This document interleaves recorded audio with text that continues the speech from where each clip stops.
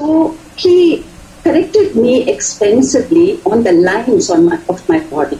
Because when I was sitting in Aramandi, in the process of, you know, making my Aramandi very good, I used to really lean forward. So that was the first thing he corrected.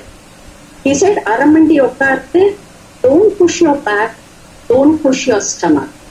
And he used to make me practice against the wall so that, you know, I, I straightened up. And he used to lay a lot of emphasis on the bodily lines. And uh, he said, you can look into the mirror and correct yourself. So hold your Natyarambha in front of the mirror and see how it feels when you hold the right position. Because you cannot see, what yourself dancing, but see how it feels when the position is correct. So the diagonals, when we do the Natadava, you know, the circles, he used to lay utmost importance.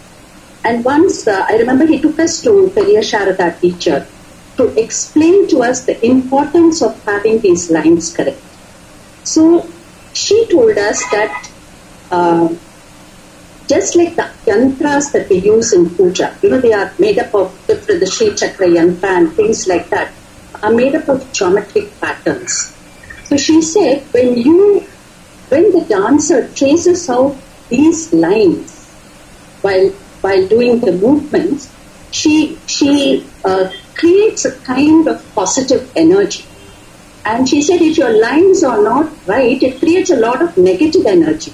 So that is why it is so important that we do the nritta segments, you know, to the utmost perfection. We have to approach it very reverently and you cannot be casual about it.